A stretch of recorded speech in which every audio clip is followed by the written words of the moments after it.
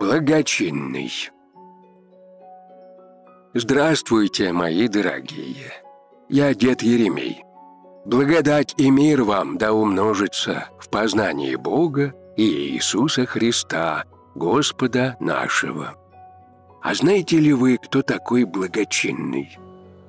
Благочинный это пресвитер, назначенный помогать епархиальному архиерею в наблюдении за деятельностью настоятелей храмов и жизнью приходов во вверенной ему части епархии – благочинии. Он сообщает обо всем важном в жизни подведомственного ему благочиния епархиальному епископу. В монастыре в обязанности благочинного входит надзор за сохранением внешнего порядка и нравственным поведением братьев монастыря, дабы монашествующие не проводили время в праздности, но трудились на послушаниях, а в свободные часы упражнялись в чтении душеполезных книг, труде и молитве.